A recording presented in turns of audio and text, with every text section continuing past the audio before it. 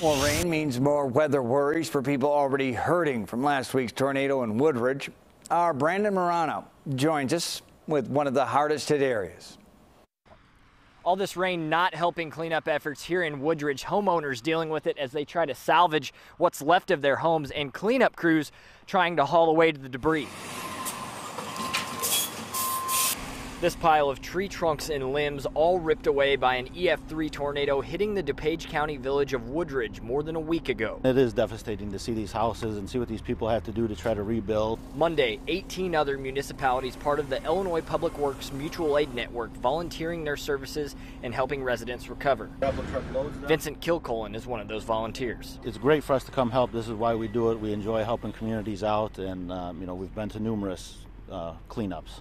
As homeowners dig through what's left of their homes trying to salvage anything of value, if you guys need anything, please feel free. Complete strangers are stepping in to help. So I'm just going around door to door offering my services, offering free tarps, free water, and uh, free meals. 900 homes have been surveyed for damage. The twister causing major damage at more than 150 family homes and leaving 29 destroyed. Have you seen damage like this before?